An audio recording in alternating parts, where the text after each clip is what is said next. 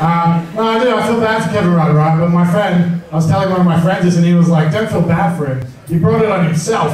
He didn't keep his election promises." And I was like, "He didn't keep his election promises. One politician does? nothing fucking do, right? In fact, the only one I can think of that even came close was Hitler." And last time I checked, he wasn't doing very well with the polls.